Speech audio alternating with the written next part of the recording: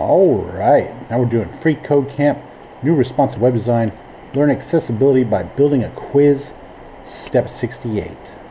So finally, the navigation accessibility can be improved by providing keyboard shortcuts.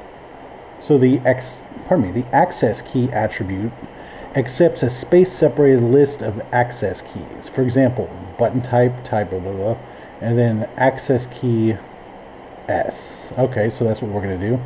Uh, so we're going to give each of the navigation links a single letter access key.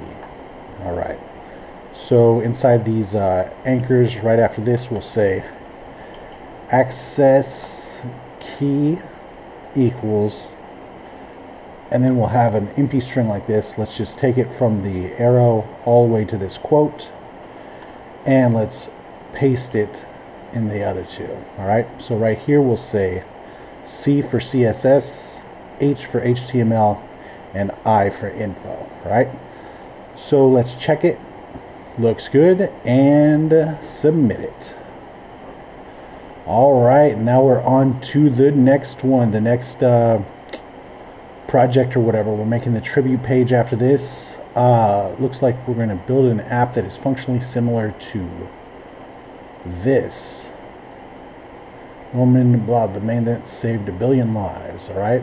Uh, and his life. All right, cool. So there we go. Uh, we're going to be doing this next time, and we'll see you next time.